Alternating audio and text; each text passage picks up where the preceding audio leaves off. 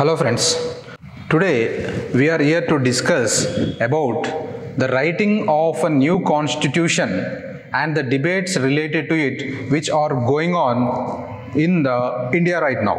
So for example there are the people there are some leaders as well who are proposing to write a new constitution in India and the need has arisen to write a new constitution in India. So now in this lecture, I would like to discuss is it feasible or is it possible to write a new constitution for India in these days and I want to compare the favorable and unfavorable positions, oh sorry, situations, favorable and unfavorable situations compared to 1950 and 21st century. So let us begin our discussion. So that is new constitution for India.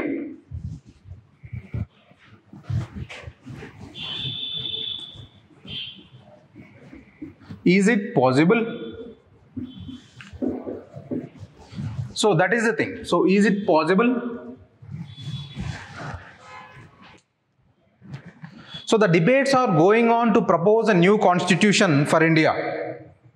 Now we have to look, we have to see, is it really possible for the today's society or is it really necessary for the to- today's society to draft a new constitution?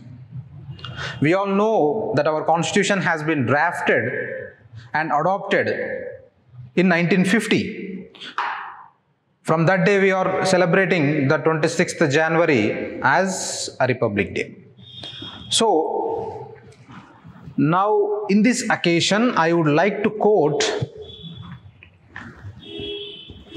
Mr. uh, a famous jurist, Fali S. Nariman. Fali S. Nariman, a famous jurist, once quoted in his lecturer, lecture that a new constitution to India is not possible now. A new constitution to India is not possible now because he said that even the new ideas, the innovative ideas which came up after 1950s, he- how, even though they are sounding good, even though they are beautiful in the reports, even though the ideas are brilliant, the writing of the new constitution, drafting of the new constitution is not possible. Why? Because because he mentioned he mentioned few elements which were present in 1950s or 1947 uh, 47 for example. Uh, 40s oh yeah 1940s and 1950s few elements were present in 1940s and 50s which helped the drafting of the constitution for india. And at the same time he mentioned few more elements which were added upon which were added upon in our political system and gain relevance in our political system which may create hindrances for writing a new constitution today. Okay so today now i want to compare the elements which are favorable in 1950 and i want to, i want to mention some more elements which are unfavorable to write the constitution today. So let us see the these things like first the spirit of accommodation. The spirit of accommodation. And the second is the spirit of tolerance. The spirit of tolerance. The spirit of accommodation. The spirit of tolerance. And the third is the spirit of persuasion the spirit of persuasion. Okay. So the spirit of accommodation the spirit of tolerance and the spirit of persuasion. These three spirits helped the framing of the constitution in 1947 to 50 okay in that period we can see okay there was a clear spirit of accommodation and tolerance and persuasion in indian politics as a whole. That is the reason why the situations in those days favored the drafting of a constitution.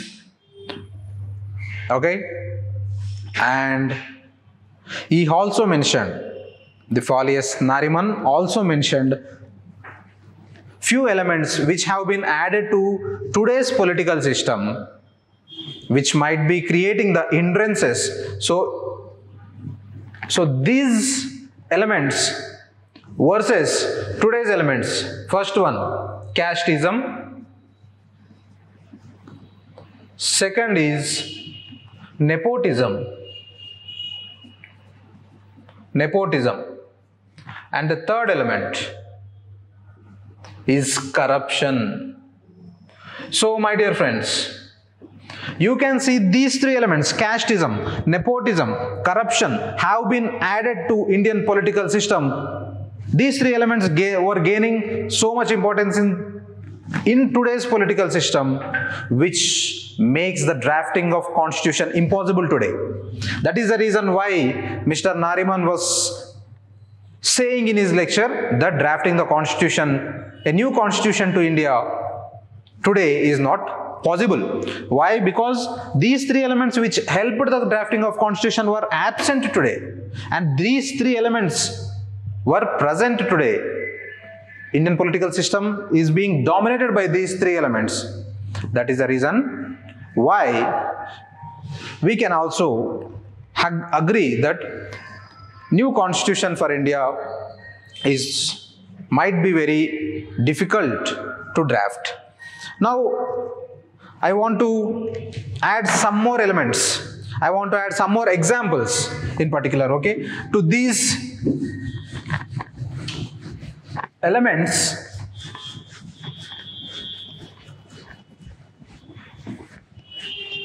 okay. So i want to add some more examples by which I can say that drafting of constitution, a new constitution, might be very difficult today. For I mean, uh, the same uh, spirit of tolerance, accommodation, and the spirit of uh, persuasion were not exactly uh, present today. And how I want to give some examples how those these three spirits helped the drafting of the constitution. For example, if we take Dr. B.R. Ambedkar, Dr. B.R. Ambedkar, the father of Indian constitution. Once if you see how he got into the Constituent Assembly, Ambedkar's appointment as a Ambedkar's appointment as the chairman of chairman of drafting committee. We all know that the Ambedkar was the chairman of drafting committee of indian constitution which was a very very important committee of indian constitution. We all know that the indian constituent assembly has been was being elected in 1946 out of which the members were being divided into several committees and out of these committees you know the drafting committee was very very important committee because it is responsible to draft the total constitution. It is not given a single subject. It is responsible for to draft the total constitution. And we all know that the ambedkar was the chairman of the drafting committee. That is the reason why we call him the father of the indian constitution. And uh, now interestingly interestingly mr granville austin in his book that is the indian constitution cornerstone of a nation. It is a book written by granville austin. Indian constitution the cornerstone of a nation is a book written by granville austin. So in this book granville austin clearly mentioned that ambedkar has been elected. Okay ambedkar has been elected to the constituent assembly Ambedkar has been elected to the Constituent Assembly from Bengal region, from Bengal province. But after the partition, we know that the Constituent Assembly was elected in 1946, partition in 1947. That is the reason why after the partition, Ambedkar lost his lost his membership in Indian Constituent Assembly okay that means he's con- right? So he he lost his seat from indian constituent assembly. Now as i said the spirit of accommodation the spirit of persuasion. Because of this, we all know that, see, even though now he is no more the member of Constituent Assembly, can you imagine the father of the Constitution lost his seat as a member of Constituent Assembly? Now, what to do? Okay, what to do? Now came the tolerance of the Congress party. Okay, we all know that the Indian National Congress is the leading political party in our freedom struggle and we all know that it enjoys clear majority in the Constituent Assembly. It had the dom it the members, the number of members were more from the Indian National Congress Party. But now Congress Party recognized the talent of Ambedkar, Congress party recognized the importance of the presence of Ambedkar in the Constituent Assembly. Dr. B.R. Ambedkar's presence in the Constituent Assembly was very important and this point has been recognized by the Congress party of the day. Do remember, even though the Ambedkar is non-Congress member, even though Dr. Ambedkar criticized many times the Congress party's policies before independence, even after independence. Okay, even before this or even after this, Dr. B.R. Ambedkar criticized the Congress policies, Congress party's policies many, many times. He was not a congressman, but still Congress party preferred preferred Ambedkar's presence in the Constituent Assembly. That is the reason why he was elected from the Bombay province again, replacing, replacing a congressman. Okay, replacing a congressman, Dr. B.R. Ambedkar has been elected to the Constituent Assembly. And Dr. B.R. Ambedkar, we all know that he came to the Constituent Assembly to safeguard the rights of the scheduled castes but he came, he, he said by himself that he came to the Constituent Assembly to safeguard the rights of the scheduled caste. But we all know that he not only safeguarded the rights of the scheduled caste, he safeguarded the rights of each and every Indian. He safeguarded the rights of each and every minority. Okay, we, India, okay, we India became a accommodative, became a tolerant society. Our constitution is tolerant, our constitution uh, is framed such that it is a tolerant, India becomes a tolerant society okay because of the tolerant nature of the constituent assembly members today the indian the total indian society is designed such that it is all the religions all the castes are being equally respected. So the spirit of equality has been included in our constitution. Right? So that is how that is how the spirit of tolerance that is how the accommodative nature of the congress party helped ambedkar's presence and he was made chairman of the drafting com committee. So today, today if we see there is casteism there is party preference so we cannot find the other party member has been elected and made the chair, chairman of the uh, drafting committee. So it is a distance idea to think today. And next coming point is the healthy debates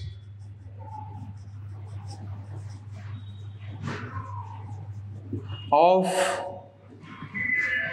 the Constituent Assembly.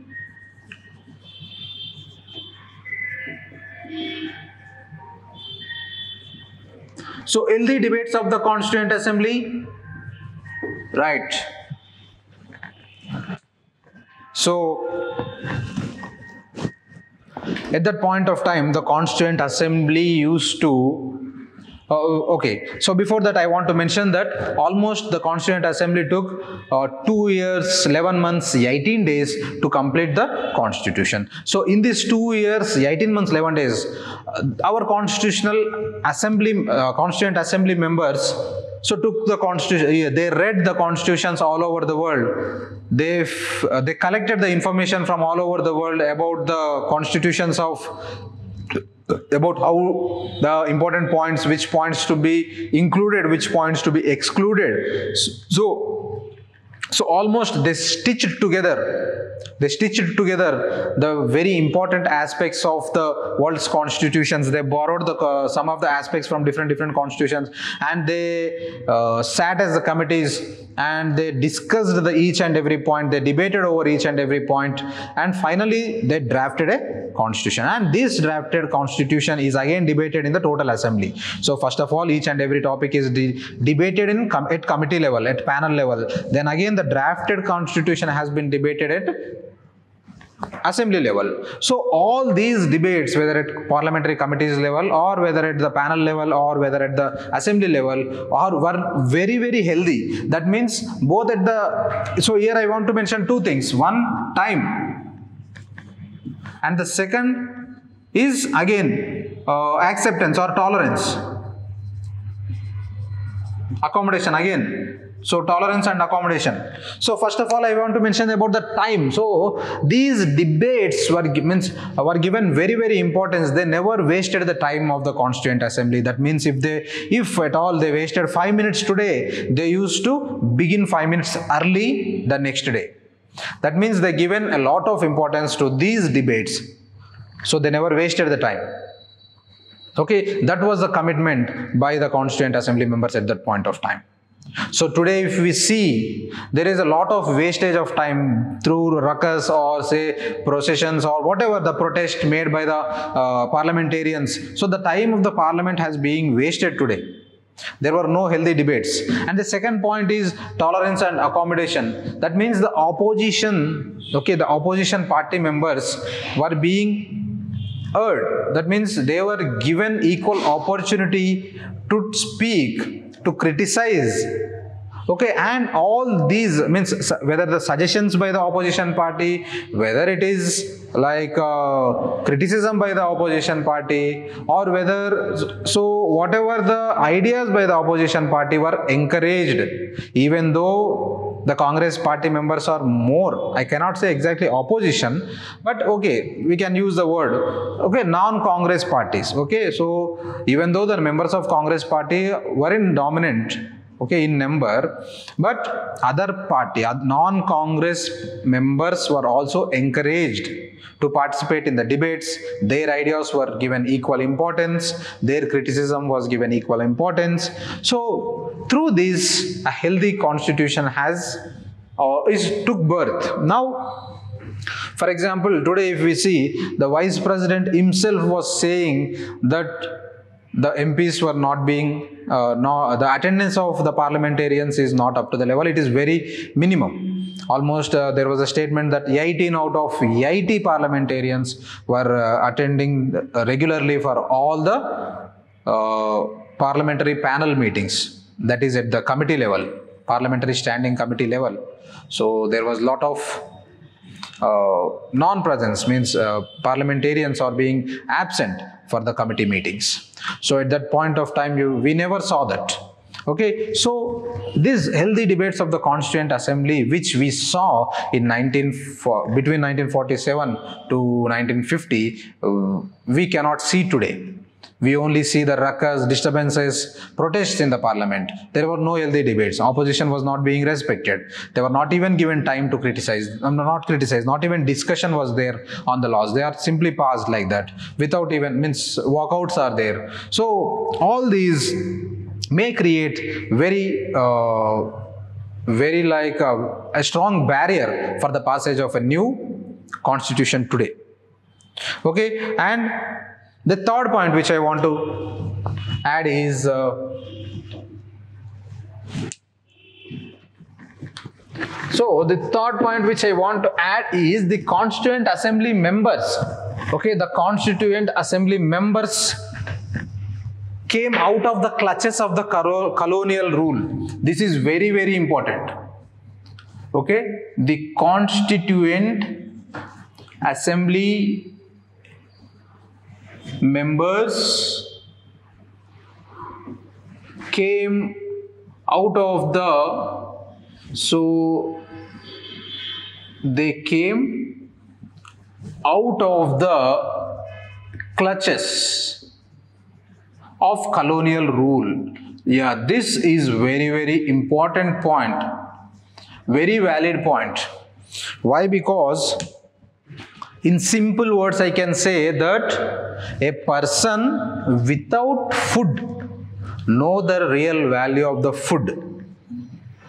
Okay, a person without money know the real value of money. A person without say anything, water. A person who is who doesn't have water to drink know the real value of water. So that's the reason. So only a person. So this is the human nature, obviously. So whether when we don't have a thing, we realize the importance of that thing. Yes. Now apply the same concept to this. All the constituent assembly members, whether from Congress party or non-Congress party, all of them fought against the British rule, particularly Congress party is a leading party in our freedom struggle. So they fought against the Britishers. They know means they demanded some ideals. They demanded some constitu- uh, They demanded some measures, amendments in the laws prescribed by the British rule. For example, see, they realize the importance of the fundamental rights because they know how important fundamental rights were because they don't have the fundamental rights in the British rule. They don't have secularism in British rule. They don't have an independent judiciary in the British rule. They don't have true right to speech in British rule. They don't have a right to press. Freedom of press was not there. So, under the British rule, these constituent assembly members realized the importance of all these fundamental rights, secularism, democracy. Democracy was not there in the British rule. Only 10% people, hardly 10% people uh, enjoys the voting right. So now they realized the right, out, right to vote, importance of right to vote. So that is the reason why these constituent, these constituent assembly members who were who came out of the clutches of colonial rulers know the real importance of the ideals like voting or say fundamental rights or say secularism or say democracy.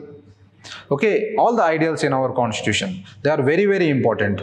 Today the today the leaders the parliamentarians may not realize may not know the importance of these particular rights because we already uh, been uh, enjoying these rights since we got independence. Okay? So they did not in, uh, they did not suffered in the so today's today's parliamentarians did not suffered under the british rule. Right? So that is the reason why they may not realize the importance of the fundamental rights or freedom of press or any other ideals of the constitution so this is a very important valid point. Today what matters? Their own party matters than nation. Okay, their caste matters than nation. Their family matters than nation. That means the selflessness which we find in those leaders, in the leaders of that day, was not much present in the leaders of today. Okay, why? Because as I said, the nepotism means favoring towards their own kin and kith, favoring towards their family, their close friends. The nepotism, the casteism, and the corruption is at higher levels when compared to 1950s, 1940s. Okay, so this is one more reason by which we can say that the framing of the constitution, drafting of the constitution is not possible today. And the next one, let us see the ideology of the constitution. See, by when we open the constitution, we see the preamble. In the preamble itself, we see so many ideas of our constitution. For example, okay, now tell me, uh, now let me know. See, this sovereign, socialist, secular, democratic republic, India. So our constitution mentioned that India is a sovereign, socialist, secular, democratic republic country. Okay, and at the same time, it also gave importance to the equality, liberty, fraternity, justice in terms of political justice, economic justice, social justice. So, all these ideals are present in our constitution. Okay, so these ideologies everyone means whether all the members of constituent assembly came to the consensus about these ideologies. Everyone whether it is congressman or non-congressman other party socialist party or some other party or left party right party that doesn't matter. But all the members came to the consensus that these ideals must be there in our constitution. But today if we see the consensus or the agreement a common agreement between the parties is highly impossible because they prefer the ideologies of their parties rather than these strong ideologies. Some of the ideologies may get disturbed. Some of the ideologies may diluted, may get diluted if the parties, today's parties were given power to write the constitution.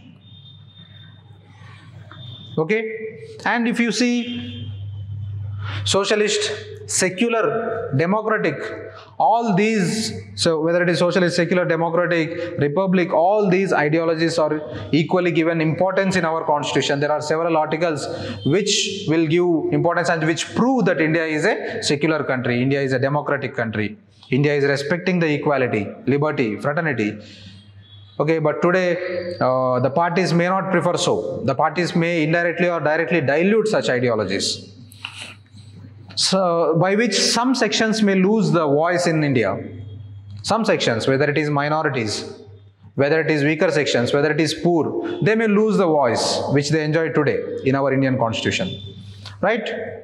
So the next, very uh, fifth point and the last point which I want to mention is the unelected body, unelected body, that is the Supreme Court was given to was given the power to review the laws or to protect the laws. This is again a very important point, very, very important point. Okay, because the law making power is given to the elected body in India, right? And law executing power because as we follow the parliamentary system of government, the law execution is done by the council of ministers who have been elected from the parliament itself, who have been, right? The majority party rule is there because of the parliamentary system. So, if we see, if we see the design, if we see the design framed by the constitu- uh, framed by our constitutional framers in 1950, see how beautiful the design is the elected body, the parliament, will pass the laws and implemented by the council of ministers fine. But a completely independent body that is completely independent of elections completely independent of the popular pressure completely independent of the politics parties elections that is supreme court. Supreme court is independent of all these elections parties politics popular pressures. So this body is made the protector of law, the protector of constitution. And it has given power to review the laws and power to interpret the laws. So, by which, see, if you given the power to frame, uh, if you uh, imagine today we are going to write a new constitution, all the political leaders themselves wanted to be the judges.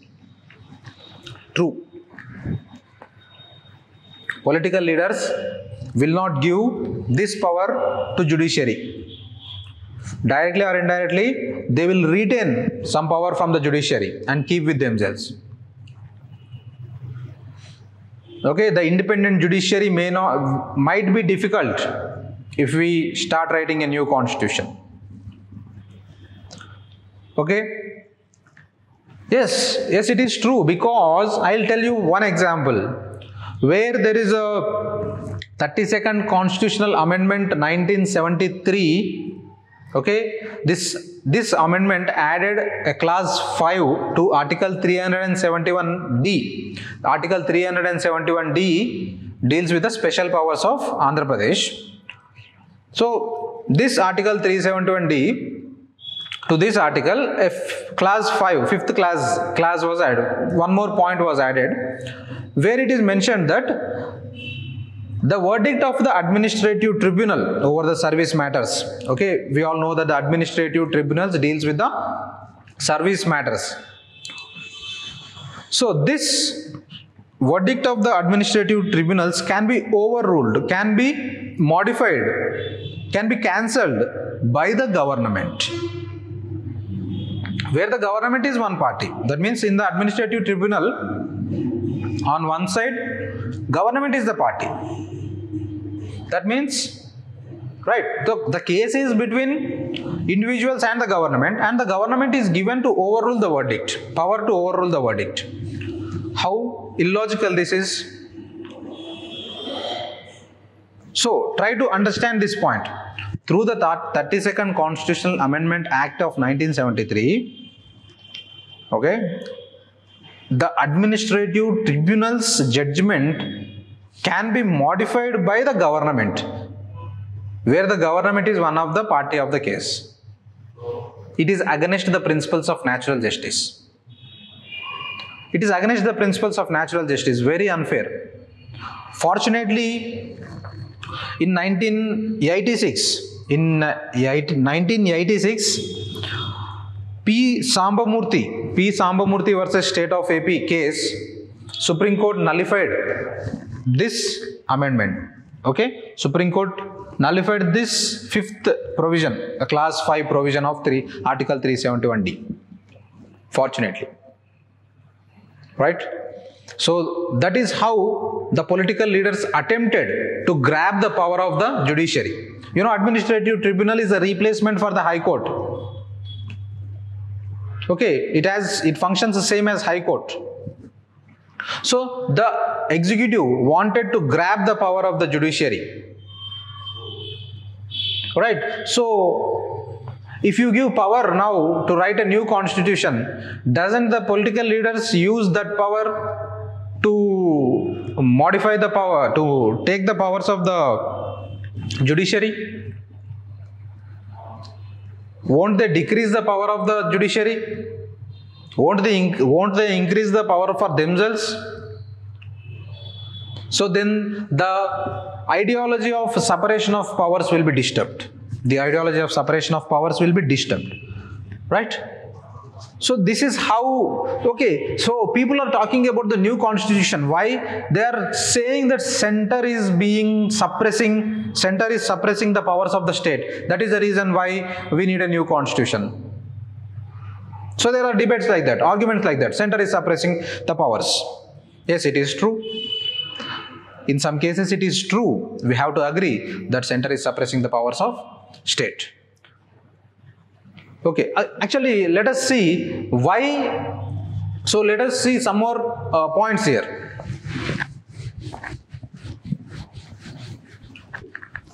So, let us see first one why we need a strong center. Why the strong center was preferred by our constitutional framers? This is the first question I want to answer. Why a strong center was preferred in 1950 by our constitutional framers? First, because as we all know, India is a nation. India was a nation in making. Even today, there are some of the uh, obstacles for Indian nation. But still, okay, coming to 1950, there are some of the challenges for Indian nation. One challenge was partition. Second challenge was, so one was partition. Second, princely states. And third, socio-economic backwardness. So absolute poverty. So these three elements because of these three elements these three elements are almost challenges a great challenges for indian nation. So in order to tackle these three elements these three challenges that is challenge of partition challenge of princely states so to integrate the princely states into the country and also for the socio-economic development of the weaker sections in the country so because of these three factors, majorly because of these three factors, strong center is preferred. Okay. Of course, today we don't have the problem of partition, we don't have the problem of princely states, but still we have uh, the problem of socio-economic backwardness, but of course not up to the level of the 1950s, but still we are having the problem of socio-economic backwardness, unemployment, poor, uh, uh, weaker sections, So still they are suffering. So I can say that this problem still persists. But however, partition and princely state challenges have been overcome. Now, but the socio-economic backwardness today, when compared to today and in those days, it was much higher in those days. So, these are the three factors and challenges by which a strong center is preferred okay over a uh, true federal true federal complete federalism. Uh, we know that india is a quasi federal country. Instead of a complete federation constitution preferred a semi federation of course we all know that the word federation is not used in the constitution right? Never the word federation is not uh, used in anywhere in the constitution. Only union of states has been mentioned in the constitution.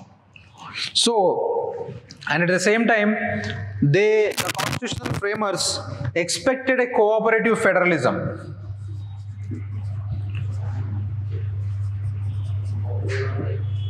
They expected the cooperative federalism.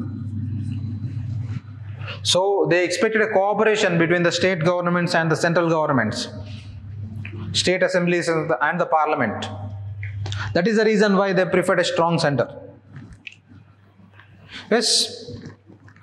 So there might may be some logical reasons behind making the centers more stronger. But because of this because of this there are instances where the central government misused the power given to it. The central government misused the power given to it. For example two instances I can say. This, uh, like SR Bommai case, I can quote SR Bommai case, and recently, the National Capital Territory, Delhi, versus Union of India, 2018 case. This is versus Union of India. In this is in 1973 or which year it is in 1994 right? Yeah. 1994 sr bommai case. So these two cases these are only few examples because we all know that the president rule has been misused in uh, india many instances. So these two verdicts wherein the supreme court came forward to protect the states from the suppression of the center. So in sr bommai case supreme court stated that the arbitrary powers enjoyed by the president in applying the president rule must be limited. And at the same time he said that the president rule okay the decision by the president to impose a president rule decision by the central government to impose a president rule comes under the judicial review okay? It comes under the judicial review. And at the same time he said that proclamation of the president rule must have the support of the parliament. That means it, the proclamation has to be approved by the parliament within 2 months.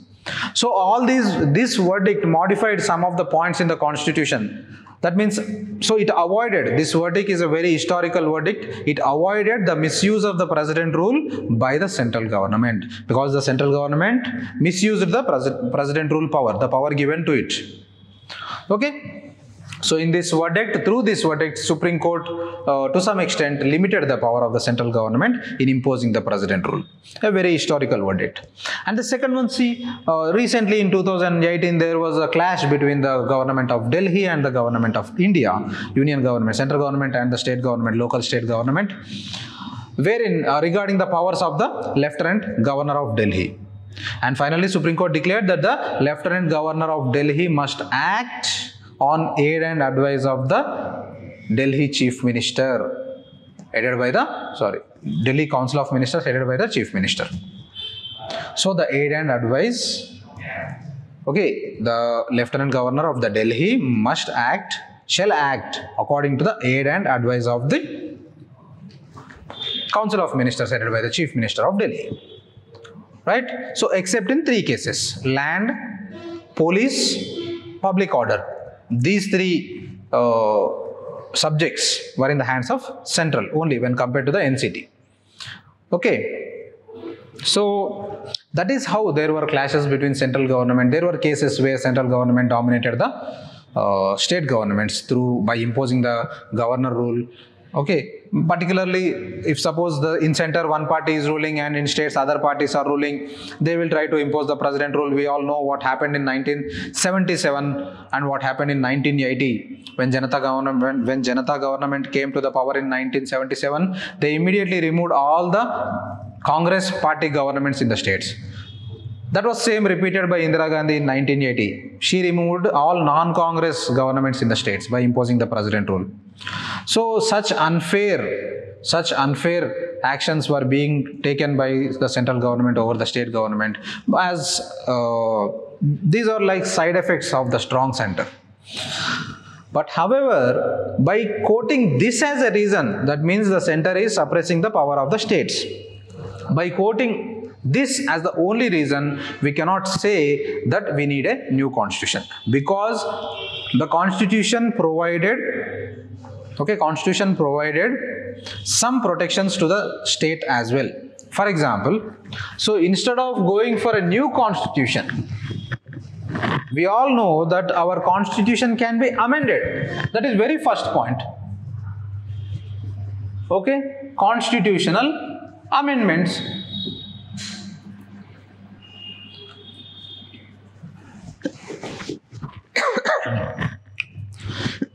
Excuse me. So,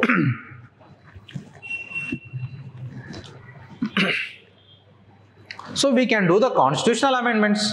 So wherever the provisions or like exploitive nature, wherever the center is exploiting the such provisions like president rule, so similar to verdict of SR Bommai. So similarly, we can like state governments or say state people or the people in general, people of India can force for the constitutional amendments, can ask for the constitutional amendments for the better protection of the state governments.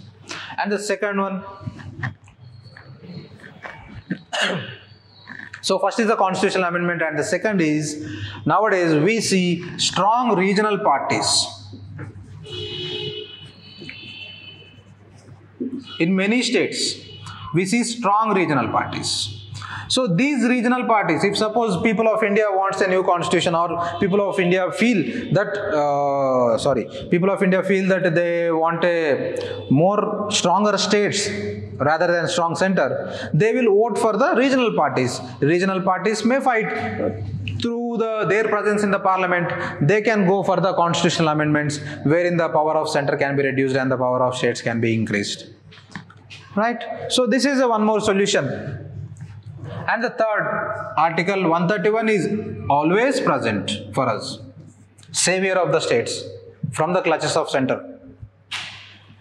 So Article 31, 131 deals with the power of Supreme Court. If suppose there, there arises any conflict between two states or state and center, okay, they can approach the Supreme Court. Similarly, what happened just now, I discussed two cases, SR Bommai case and National Capital Territory of Delhi government versus Union of India. These two cases are the examples of how Article 131 was utilized okay, to protect the rights of the states. So, by seeing all these, so there are, so by seeing all these, we can say that it is not suggestible and it is very, very highly possible, sorry, very, very highly impossible that drafting of the con- new constitution in India might be a distant dream. And and at the same time it is not favorable as well because today if you keep writing the constitution as i said there are several obstacles. So today's political society doesn't have the spirit of tolerance doesn't have spirit of persuasion and spirit of accommodation. And in addition to that it has uh, means the role of casteism nepotism corruption has been increased. Okay parties or uh, the selflessness in the leaders is absent. So there are many factors by which we can say that writing, drafting of a new constitution is not at all possible and not at all suggestible and the conditions are not favorable for a new constitution. And at the same time, we can say that the reasons, whatever the debates in the debates that is center is dominating the states or any other particular reasons can be tackled by the other methods alternate methods not by going for a new constitution alternate methods like for example constitutional amendments regional uh, parties selecting the regional parties selecting the regional parties and sending them in a great number to the parliament. So then so that they can do the amendment to the constitution required amendments to the constitution to decrease some powers of the center and to increase the power of states. So there are many options open for us. Article 131 is always present. Supreme Court always acts as a savior of the states, uh, state governments from the clutches of the central government. Several times it questioned the central government uh, regarding president rules, regarding the appointment of the governors.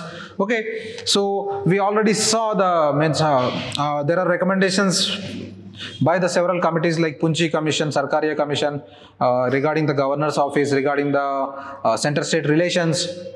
So all these are there and uh, so we can tackle the problem by some other method rather than going for a new constitution. Thank you.